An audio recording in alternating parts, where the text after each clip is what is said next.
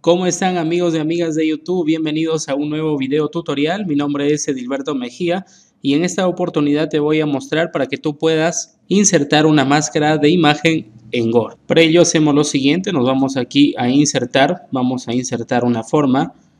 Voy a elegir esta forma y aquí vamos a agregar una palabra. Por ejemplo, la palabra ganadores, seleccionamos la palabra nos vamos aquí a inicio, elegimos un tipo de letra adecuado.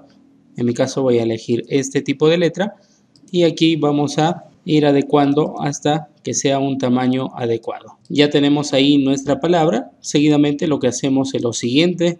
Seleccionamos, nos vamos a formato de forma. Aquí en formato de forma le damos un relleno de texto aquí en este cuadrito y voy a elegir un relleno de color negro aquí en esta parte que corresponde al contorno de nuestra palabra, vamos a darle un contorno de color rojo. Aquí mismo al costado en estilos de forma tenemos el relleno de forma.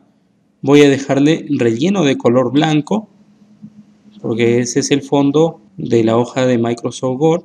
Y luego aquí en contorno vamos a dejar sin contorno. Ya lo tenemos así.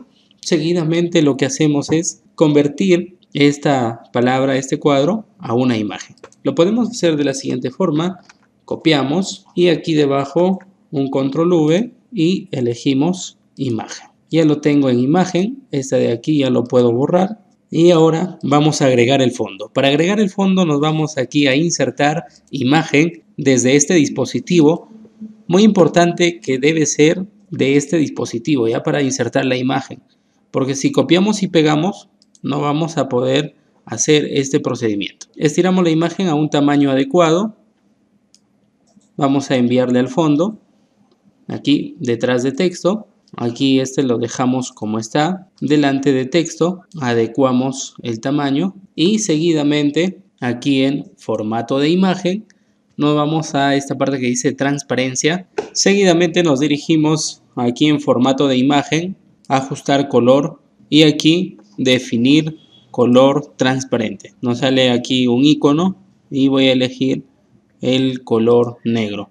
Y como puedes apreciar, ya de fondo tenemos la imagen y solamente podemos ahora ubicar nuestra palabra para darle una mejor presentación.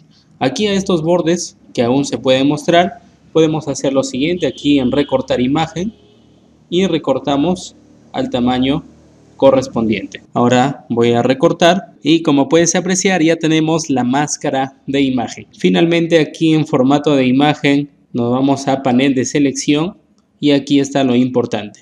Como hemos realizado el proceso de insertar, ahora podemos visualizar las imágenes correspondientes y elegimos la imagen número 15 y también la imagen número 16 presionando la tecla control podemos elegir con el mouse las dos imágenes correspondientes. Seguidamente nos dirigimos aquí a esta opción y le damos a agrupar. Y ahora como puedes visualizar ya lo tenemos en una sola palabra nuestra máscara de imagen. Ahora sí ya puedes realizar textos totalmente creativos. Muy bien amigos, no olviden suscribirse al canal, activar la campanita que pronto estaremos subiendo más contenido para todos ustedes. Hasta la próxima.